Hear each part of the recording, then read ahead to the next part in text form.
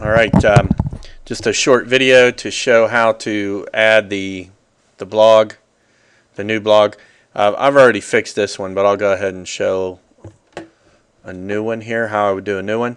So probably the easiest thing to do will be to actually create two windows on your screen. Um, if you have, you know, open up two uh, Franciscan documents at the same time. And so I can just pull stuff over from one to the other. So um, I have two open here. And I'm going to go to my learning session two. I'm going to go to my assessment folder. So I have these here. All right, so over here, this is going to be my target over here. So I'm going to hit click inter add interactive tool blog. Going to ask me, do I want to link to the blogs page or do I want to link to a specific blog? I'm going to click in link to a blog. I'm going to highlight the blog that I want and the blog that I want here is three questions about understanding. Then I click next. So that creates the, the, the blog, create the link to a blog.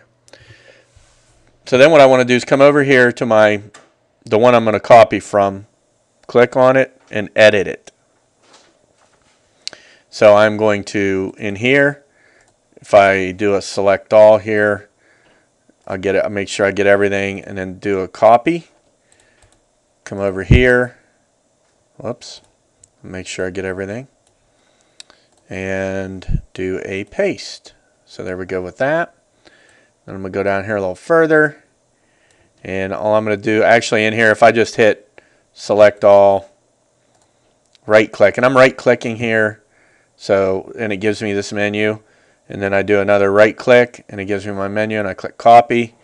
I'll come over into here. I right click and I do paste. Go down here. Uh, you know, if you want to track the number of views, I always click that even though I never end up doing anything with it. Then I hit submit. And so now it will put that at the bottom. And so what I would do in this case is I will would delete my one that I have up here because that's the bad one. And then I'll just take this one. You can see that I can move it. So I take it and I move it up. And there we go. So now let's go ahead and make this screen big and see what happens. So now when students come in here, they can just click on this and it takes them right to the three questions about understanding blog. And uh, you know they can create their blog entry and get going. All right. So hopefully that explained it. If anybody has any if you guys have any questions let me know. But um, that's how you